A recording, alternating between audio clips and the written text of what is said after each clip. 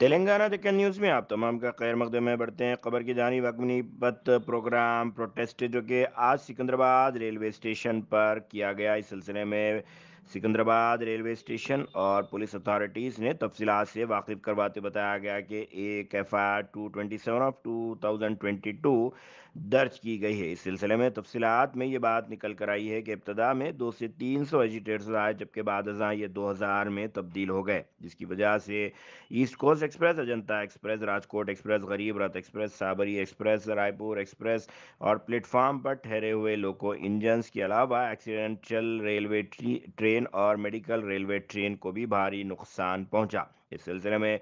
police ने तफसीत से वाकिफ करवाते हुए बताया कि कई पुलिस अहदेदारान भी इसमें ज़ख्मी हुए हैं, जिसमें भी Venkataramulu IRP Hyderabad, line A Srinivas IRP Hyderabad के अलावा M Sammurthy RPF head constable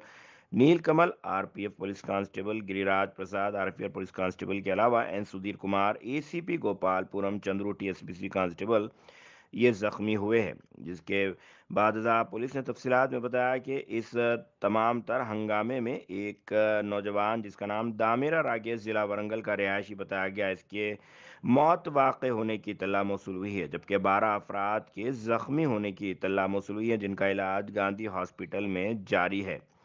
ये तमाम तफसीत से ये मोडस ऑफ़ ऑपरेंडी पर भी रोशनी डालते हुए बताया गया कि फ़िज़िकल ट्रेनिंग में कामयाब होने के बाद ये स्टूडेंट्स, इन्हें इस बात का ख़दशा हो गया था कि इन्हें नौकरी मिलेगी या नहीं मिलेगी एक व्हाट्सएप ग्रुप और सोशल मीडिया के मुख्तलिफ़ प्लेटफॉर्म्स के ज़रिए गुज्त रोज़ पेश आए बिहार और हरियाणा के वाक़ात को देखते हुए इन्होंने एजुटेशन का इरादा किया और इस एजुटेशन के सिलसिले में